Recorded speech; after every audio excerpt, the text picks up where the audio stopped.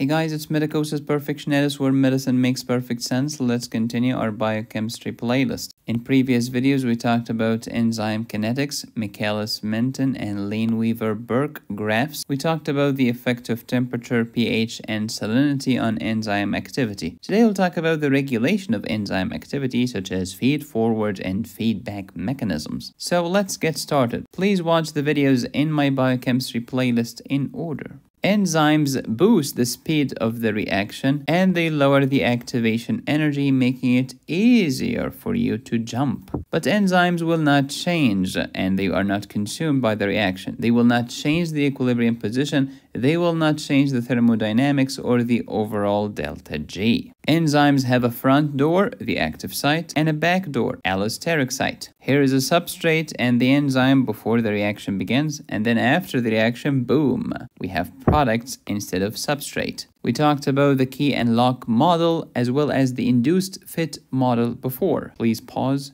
and review. Today's topic is about the regulation of enzyme activity. We have feed forward and have feedback. Which one is more common? Of course, feedback. Indeed, feed forward is very rare.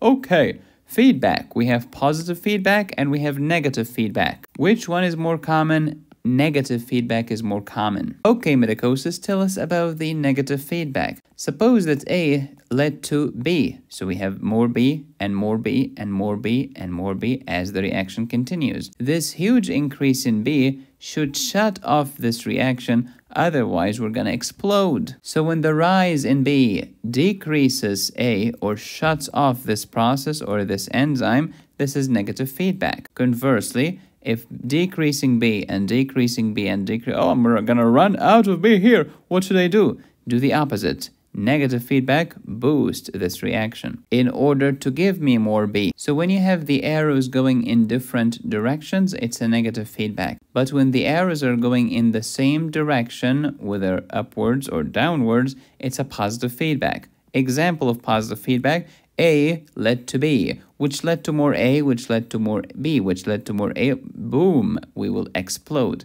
That's why positive feedback is rare, because it has explosive effects. Example of feed forward, which is rare. Here is X and then Y and then Z, and we have enzymes on the arrow. If X is boosting a process that is yet to come in the future, this is feed forward. But if X led to Y, led to Z, and then the increase in Z led to decrease in the enzyme before it, this is feed back. And this happens in your body all the time. Suppose that your pituitary gland secreted thyroid stimulating hormone, which went to the thyroid gland and told the thyroid gland to secrete T3 and T4.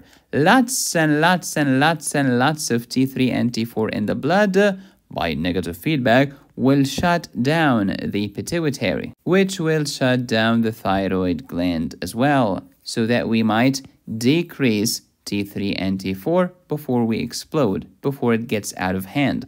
That's a negative feedback. Imagine this, high carbon dioxide. What should I do? I should do something to lower my carbon dioxide in the blood, such as hyperventilation. This is negative feedback, which is very common in the human body. Otherwise, I will die from too much carbon dioxide or hypercapnia. Positive feedback can destroy you because it has explosive effects. It's a vicious cycle that doesn't end. A increases B, which increases A, which increases B. This is explosive. There are few examples of positive feedback in the body. Example number one, bleeding. When you bleed, you activate your clotting factors, which will stimulate one another. Boom, boom, boom, boom, boom, boom. And then you activate more so that you can stop the bleeding. Another example is the uterine contraction. Uterine contraction will push the fetus downwards, which stretches the cervix. The stretch of the cervix increases uterine contractions, which causes the fetus to descend more. Boom, boom, boom, until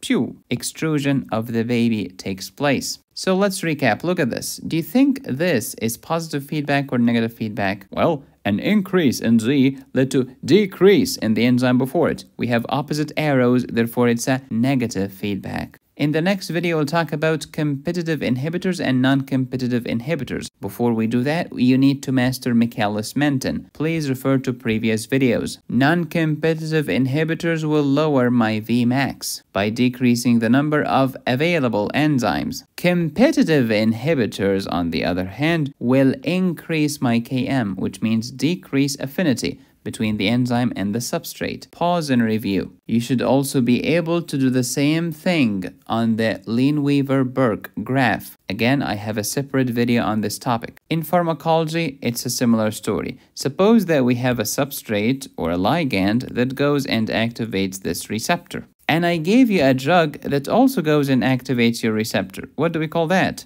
We call this an agonist. It's acting on the same receptor. How about an antagonist? Well, this is a drug that goes to the same receptor but inhibits it. So instead of having the same effect, you're having zero effect, nothing, no effect. This drug can block the front door or the back door. If it blocks the front door, this is competitive inhibition. If it goes through the back door, this is non-competitive inhibition. Unfortunately, many students think that an antagonist will cause the opposite effect. Not true. The antagonist will cause no effect, zero, zip, null, nil. Even Ben Shapiro can tell you, quote, the idea that the antagonist to X causes opposite effect to X is absolutely asinine, okay folks? You're confusing categories here.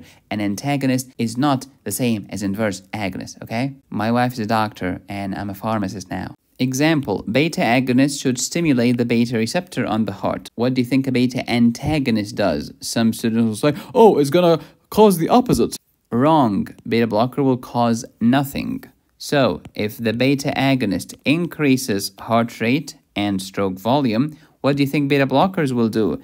They cause no increase in heart rate or stroke volume. But but I thought that beta blockers decrease heart rate and stroke volume. Yeah, but you know who actually did it? The vagus nerve. Because when you block the beta, when you block the sympathetic, the only game in town left is the parasympathetic, which will decrease your heart rate and your stroke volume. So what beta blockers do is not to reverse the beta, but to stop the beta. How can I invest my money wisely? Warren Buffett answered, Rule number one, don't lose money. Rule number two, don't forget rule number one. A medical student asked, How can I treat arrhythmia wisely? Rule number one, don't let the beta 1 get stimulated, i.e., give a beta blocker.